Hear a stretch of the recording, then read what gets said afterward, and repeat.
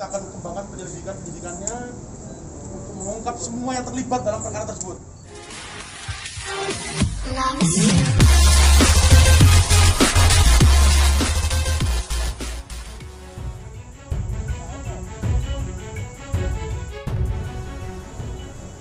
di TKP wilayah Jebres di mana dua orang korban dua orang korban masing-masing atas nama DTM dan MA yang pada saat itu sedang mengendarai sepeda motornya bersama beberapa teman rekan lainnya di titik TKP kemudian disalib oleh tiga orang tersangka ini.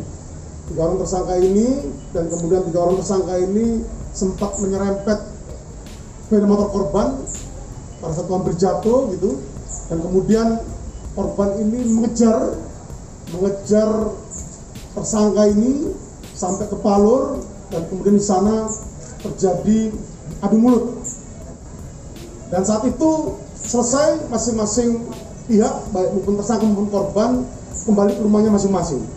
Pasca kejadian tanggal 20 Februari pukul 23.00 tersebut selanjutnya ketiga tersangka ini kemudian menceritakan ihwal kejadian pada tanggal 20 Februari 2001 tersebut.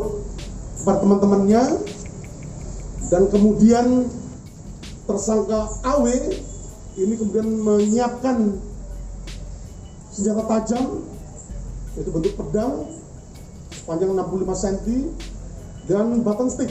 Yang kemudian ketiga orang tersangka ini diikuti oleh beberapa rekan lainnya kemudian mencari keberadaan dari korban ini di wilayah Jebres dan pada tanggal 21 Februari 2021 sekira pukul 00.30 ketika tersangka ini berhasil menemukan rumah tempat tinggal daripada kedua korban ini dan di situlah kemudian melakukan tindak pidana kekerasan secara bersama-sama terhadap orang maupun barang yang mengakibatkan korban mengalami luka-luka.